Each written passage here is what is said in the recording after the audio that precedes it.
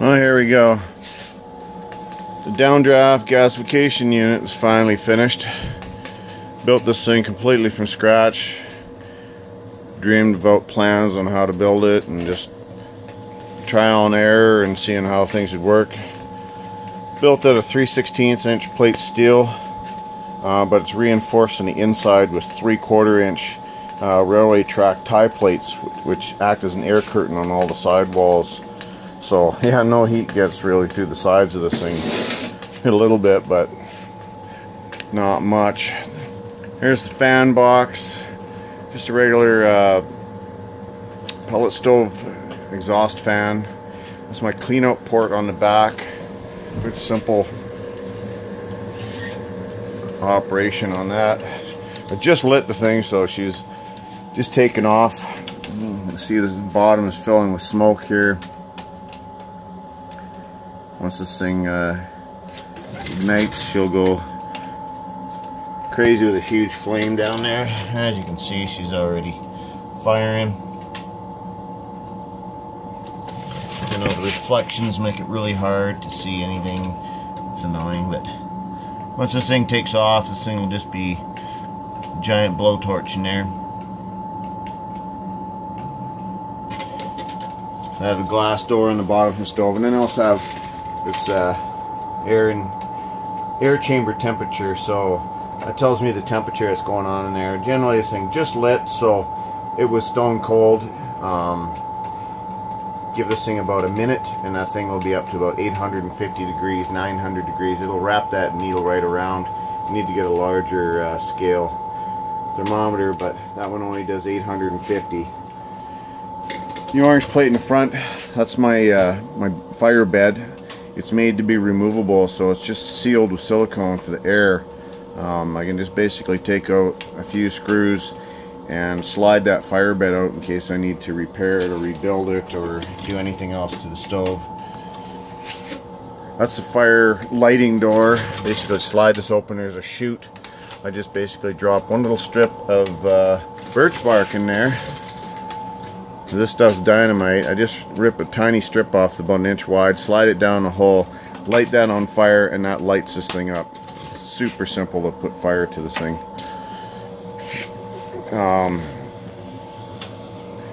I just finished cleaning out the burn chamber. Basically, I just take two nuts off, the plate comes off, and then the uh, heat exchange tubes are right there. Uh, I have a, a tool that I made that slides down, scrapes the insides of the uh, the exchanger tubes. Pardon my waving the stupid camera all over the place, but tripping over freaking garbage in my shop as always. So this is my whizzy little cleaning tool. It's one of the cutouts for the exchange tubes, the three inch disc, and all I do is slide that down in there. Once down and once up, exchanger tube's clean. So very simple to clean this thing out.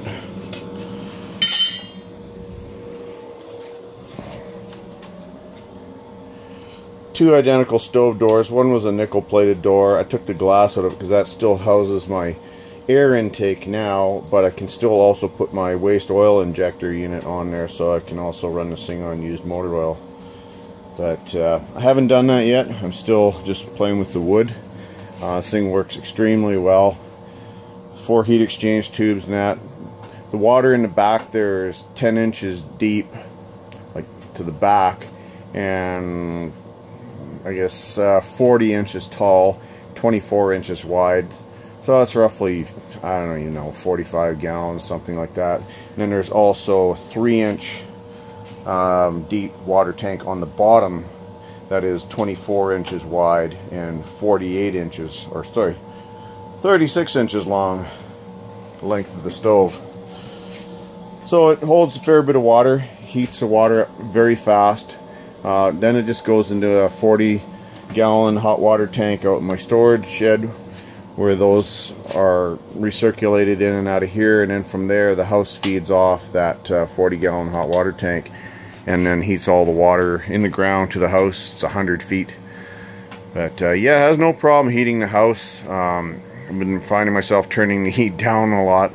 Um, this very simple way that I control this thing is with uh, an Inkbird Wi-Fi thermostatic control. So I just basically set the temperature at I want it to. So you see I have it set to 159.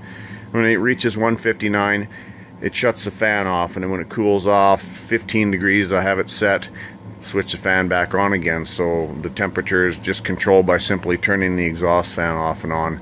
Um, very simple control unit. All this the fans the pumps and everything on this unit all run off my uh, solar system. So I have a battery backup system and it'll run all this stuff. So I can have heat in my house. Even if the power goes out um, I'll still have heat. The batteries will run all this stuff for a good 10 hours no problem. They barely take any power. All the pumps and fans and everything together only draws like 8% of the load on my 6,000 watt inverter. So very low consumption um, and last long time. So yeah there you have it. I'll have some more video clips and pictures uh, when I was constructing this thing included in this video. And uh, if you like it give it a thumbs up uh, if you have any questions I can try and answer one of have but like I said I bought all new steel for this thing new steel uh, the doors I had but everything else uh, the fan I had already but all the steel that I used for this thing for the heat exchange tubes the plate steel to construct this thing all in cost me less than a thousand dollars for the steel. Um, the doors I had I mean those doors are expensive um, they're from a wood stove like Kodiak 1700 that I own but I'm using the door on it because hey I have two of them the, the nickel one was thrown in the garbage because the nickel was peeling a bit on it but yeah who cares it was a brand new door it was worth $600 so um, yeah, I'm not going to throw that away. And works fabulous. It's my fire or wood loading door. I open that up. I can dump, I can pretty much fit almost two wheelbarrow loads into this stove.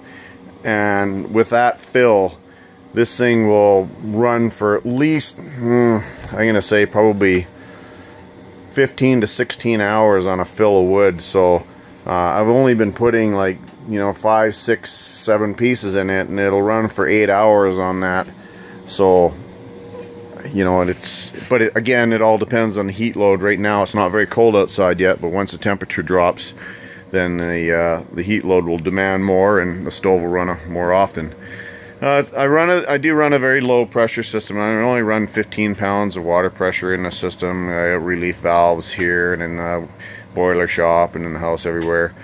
Um, got an autofill valve, but I didn't want to run any water pressure in it, but I was tired of listening to the water gurgling all the time. I still have to put an air bleeder on that cap right there.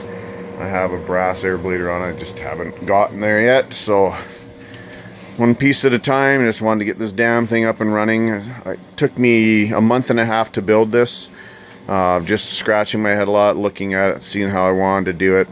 The welding was quite intricate. Um, you have to weld perfectly. It's like uh, B pressure welding, so you can't have a single air leak or you'll have water leaks, you know, from those corners. So all the seams, inside, outside, around the edges, everywhere, are all pre-tested. Uh, basically all I do is weld it. I spray some soap water on it and then blast it with air from the backside and see if I get any air bubbles. And I had quite a few small tiny pinholes that I had to go back and and patch up. You know, when you're doing a four foot long weld, your eyes start to go crossed and it's pretty hard to stay concentrated. But all in all, the welding was uh, was a lot of fun. I did buy a new welder for this project. The welder was only 400 bucks and it absolutely worked phenomenal. Um, it was a 220 volt uh, MIG TIG, you know, arc combination unit, and I love it. So yeah, um, cleaning this thing is easy. Like I said, just basically take that back port off, scrape the burn tubes and I scrape the ashes out of the bottom yeah whatever once every two weeks and top ashes well. There's I don't really ever need to clean that but uh, yeah this thing's been working phenomenally. It's heating my house and then I'm gonna get this thing connected to my hot tub so I can get everything heated off this unit all winter long. So anyways thanks for watching this and I'll try to correspond all these video clips together so you can see uh, the construction process of it. I didn't videotape a lot of it just because I was you know, in the zone and wasn't into making a, a full-on video on constructing this thing. Um, but I will show, you know, how I did build it and all the parts that I literally just pulled out of the top of my head. Um, like the, the funky little uh, chimney box that I made there. Uh, that's all it needs. That thing sucks all the air out of the stove, so it's a negative pressure gasification unit. And that little pellet stove motor is more than enough flow for this thing to burn perfectly. And uh, yeah, this thing just makes a ton of heat. So anyways, uh, thanks for watching. Drop a comment if you uh, like it, and even if you don't, don't really care. Anyways, thanks for watching.